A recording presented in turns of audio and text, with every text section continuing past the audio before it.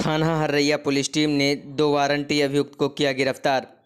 बलरामपुर जनपद के पुलिस अधीक्षक राजेश कुमार सक्सेना द्वारा वांछित वारंटी अभियुक्तों की गिरफ्तारी हेतु चलाए जा रहे अभियान के क्रम में अपर पुलिस अधीक्षक बलरामपुर नम्रता श्रीवास्तव और क्षेत्राधिकारी ललिया राधा रमन सिंह के पर्यवेक्षण में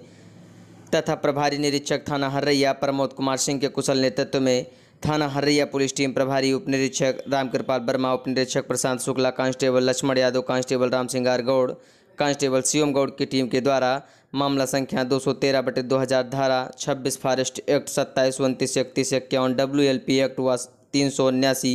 आईपीसी से संबंधित दो वारंटी अभियुक्त दुलारे पुत्र सुंदरलाल निवासी चरगहिया थाना हर्रैया जनपद बलरामपुर, नजीबुल्ला पुत्र सलामतुल्ला निवासी चरगहिया थाना हर्रैया जनपद बलरामपुर को गिरफ़्तार कर माननीय न्यायालय रवाना किया गया।